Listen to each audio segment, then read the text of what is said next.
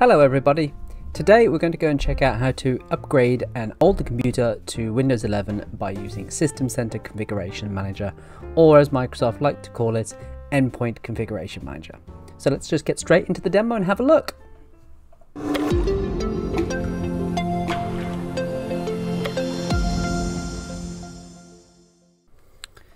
Here I am on my Config Manager server and we're just going to launch Config Manager and in here, inside Endpoint Configuration Manager, the first thing I'm going to do is go into my device collections and I'm actually going to make a new device collection for my Windows 11 devices. So we're going to pop over here and we're going to go to Create Device Collection. And in this Create Device Collection wizard, we're going to name this Windows 11 Deployment. And the limiting collection down here is going to be set to all systems. So we're going to filter off the all systems collection to just our Windows 11 machines down here. Let's pop a comment in there and we'll say this is devices targeted to install Windows 11. So we're going to come in here uh, and on the membership rules page, we're just going to click next on this one. We're not going to actually add anything to this. We could add dynamic queries in here if we wanted to, to go and target all machines that I actually wanted to upgrade, or I could directly insert machines in here. But this is just for capturing machines later on or more to the point, I'm going to add some machines to this later on. So in this Assets and Compliance workspaces, I'm going to go and select Devices, and I have a machine here called SEAW81. Now this machine is actually running Windows 8.1, and that's what we're going to upgrade. We're going to take Windows 8.1 and send it directly to Windows 11. So I'm going to right click on this, and I'm going to add this selected item to an existing device collection, and I'm going to add this device collection to that Windows 11 deployment collection that I had right there. Now, we've set that up at the moment, so we need to kind of get an operating system in here. Now we have actually on here a temporary folder. In fact, we have a shared folder called uh, called SEA CFG1 Software ISO Sources, and inside here, if we go to ISO. This is actually just a directory that's ripped the ISO of the Windows 11 ISO. Um, if you want a copy of the Windows 11 ISO, it's, it's available on the internet.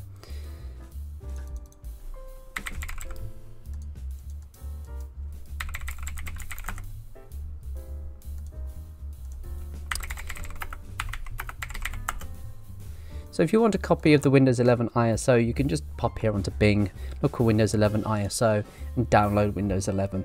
Uh, and you can pull that ISO down here from uh, the ISO download page in 64-bit format. Okay. Uh, so all that's been done is mounted, ripped, and put into this shared folder here.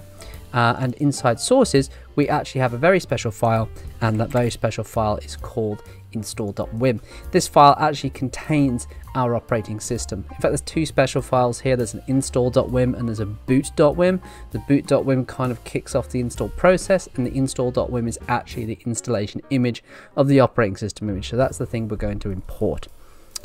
So let's just drop over here and we're going to drop into software library and we're going to get that image into this uh, SCCM system. So let's drop open uh, operating systems here and we'll go to operating systems and we'll add an operating system image. We're going to browse to that same path that I just grabbed before. So let's just go and grab that same path here and we'll copy that directly in there, whack enter, pull that thing up scroll down and we'll find our install.wim. Now if you already have an existing ISO, you've downloaded it, double clicked on it, mounted it, you can also pull it in that way as well. So we're going to grab that uh, and we're going to come down here, click next on this one and whoops, we need to accept the EULA. click next on this one and on my precast settings I'm going to drop in the language down here as English United States because it's a demo environment. And the demo environments like to be in America. We'll change that to 64-bit because nobody's using 32-bit anymore or at least not for most purposes. So inside general we're going to call this Windows 11 Enterprise. Just noticed it says Windows 11 10 oh sorry Windows 10 not Windows 11 uh, that's because this older edition of SCCM that I'm using doesn't understand this is Windows 11. It still thinks it's Windows 10. It's still going to work fine. If yours says Windows 10, just replace it with Windows 11. Windows 10 and Windows 11 are basically the same operating system underneath.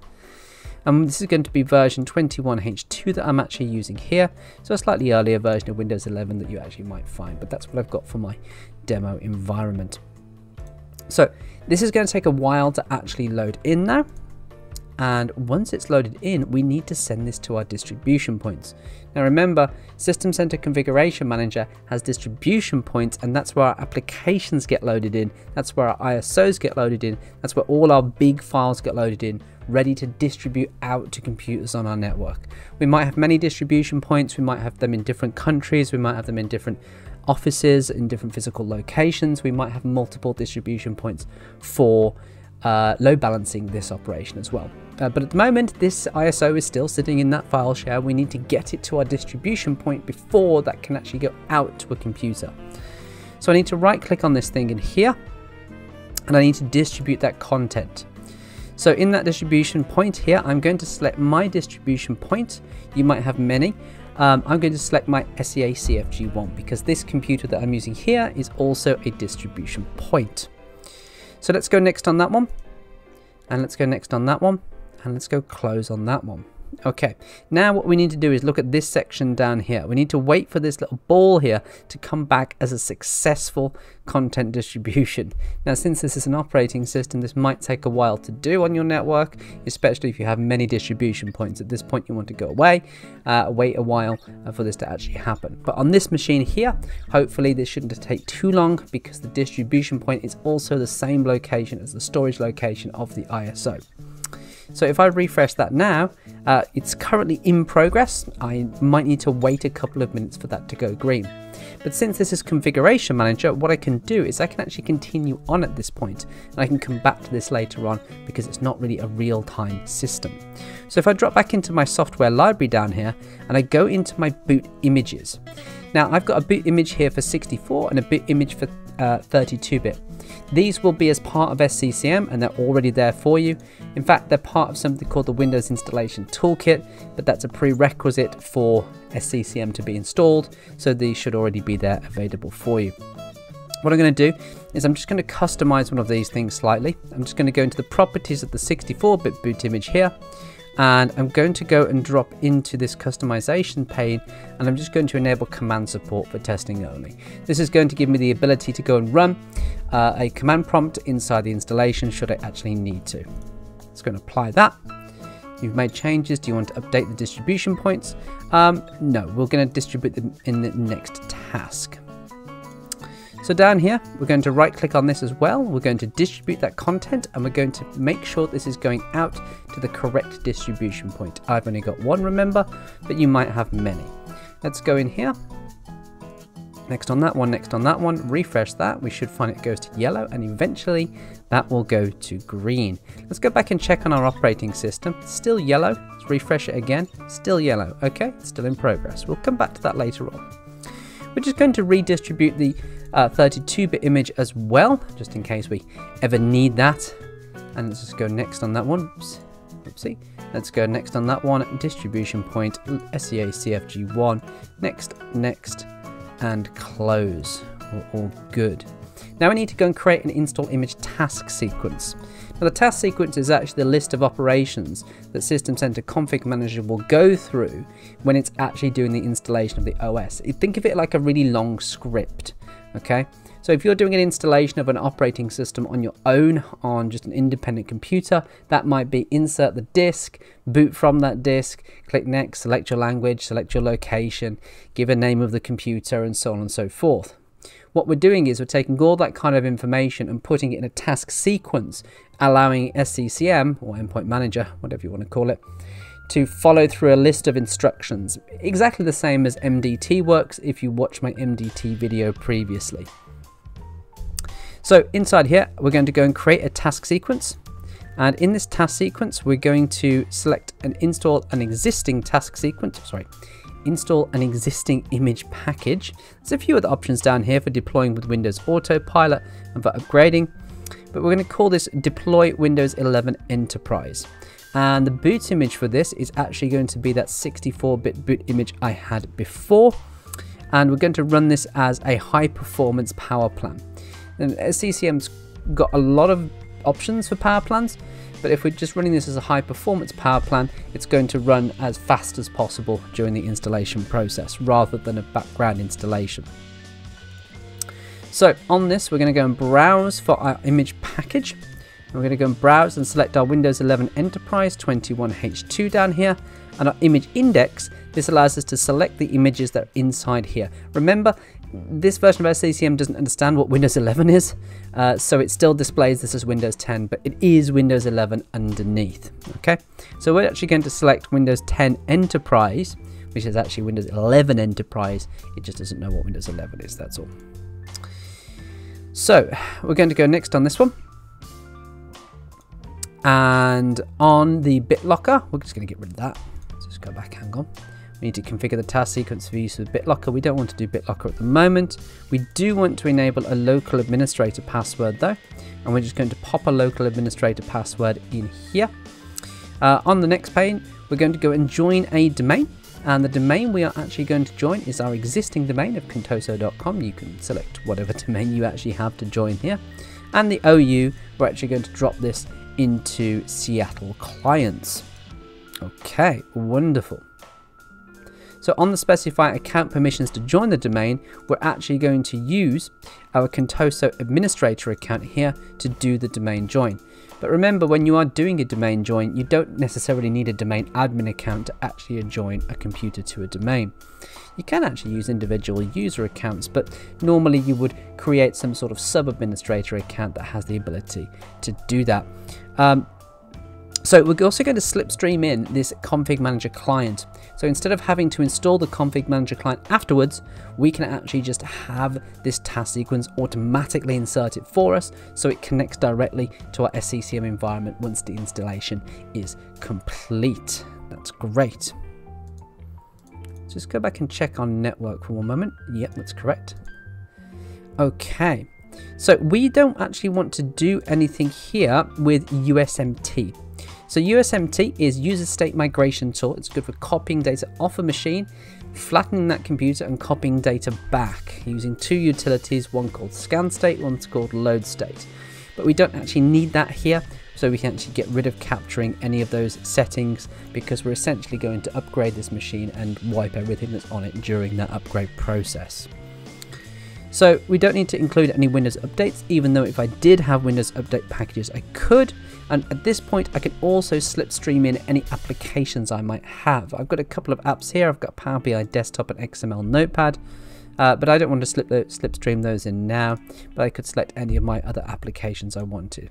So if we go next on that one, and we complete on this one, we now have a task sequence. In fact, if you edit this task sequence, you'll actually see a much bigger list of things you can do. At the moment, this is quite simple. It's actually launching Windows PE, the pre-executable environment. That's actually what the boot image was. Uh, it's going to partition those disks, apply the operating system, apply some basic Windows settings down here in relation to the usernames and the password for the administrator, and actually just go and throw in the SCCM client. It's about as basic as a task sequence could get. But note you can actually add loads more things into these task sequences as well for enabling and disabling BitLocker, formatting drives in specific ways, uh, capturing and applying various different Windows network settings as well. But we're not going to overcomplicate things. We're going to do a basic upgrade down here. Um, right. In fact, let's just go and check one thing on here. Let's go underneath install operating system. And let's just go and select these apply device drivers. We don't actually need this device drivers. Um, so let's just go and right click on that one and let's just go and delete that step down here for auto applying those device drivers. Okay, that's great. So let's apply that. Okay, that down here. Now we're going to actually deploy this task sequence out because now I've created it, it still needs to be sent to some distribution points. In fact, let's go back and check on our operating system image. Hey, look, we got a green ball now. Great, it's been sent to the distribution point. It's ready for use. Let's go to the boot images down here, 64-bit. Um, okay, so we have a green ball as well. That's all good. Let's carry on. So let's go back to our task sequences down here. And what we're going to do is we're going to right click on this and we're going to deploy this task sequence. And we'll deploy this task sequence to one of our collections that we made before. So let's go and select that collection. And let's go and select that Windows 11 deployment collection down here. Okay. So once we've selected that Windows deployment collection, we can actually drop onto next on this one and we can make sure that this is actually set. What are we going to set this to? Uh, we're going to set this to install and available. Now we have two options here, available and required. If you make a task sequence required on a computer, this will actually install in the background onto somebody's machine, uh, reboot that machine and flatten it. If you make it available, this is actually going to be available for a user to actually install and upgrade a computer by using the software center, which is what we actually want to do for this demo. So let's go and make this available here. And let's go and click next on that one. Uh, we won't run any, schedules here. Uh, and on the user experience, we're just going to leave this all on the default settings for the moment, which is fine. The same with the alerts. We'll leave all those on the default settings for the moment. Uh, the distribution points download content locally when needed by the running task sequence. That's cool. So that's going to download this um, installation process to the client machine before it starts to install it. That's actually what you want to do, especially if you're sending it out to many machines. So let's go next on that, next on that. And we are all done. Now what we need to do is switch over to our Windows 8.1 machine. Alright, so we're now over here on our Windows 8.1 machine. Remember this nightmare? Uh, if we click on the start button, remember when they had to put that back in? We still get this lovely thing. Oh, what a terrible piece of software this was. I actually want my software center. So the way to do this is to actually search. I just have to start typing software center and it's going to pop up in my search here. So let's just drop into the software center itself. And I've got no applications available. We didn't deploy any. Uh, but I'm going to go into operating systems and we will see my task sequence available here. Now all I have to do is click install and confirm that I want to upgrade the operating system on this computer. It's giving me a bit of a warning to say this is an OS upgrade. And if I go and whack install, that's it. I can now leave this and it's going to pull Windows 11 down. It's actually going to start the installation process of Windows 11 on this machine. Now this doesn't have to be Windows 8.1. You know, this could actually be Windows 7 or this could be Windows 10. This process is going to be exactly the same. So if you want to upgrade people's computers from 10 to 11, you could run through this exact same process with, um, uh, with SCCM. So if I go and restart this computer now, and it's going to go through the process of rebooting, and it's going to go through the process of installing Windows 11. As you can see, after the reboot, it's dropped directly into Microsoft Endpoint Configuration Manager here, and it started that process of installing the operating system and actually grabbing that install.wim file. This will take a while to do, uh, but it will get there eventually.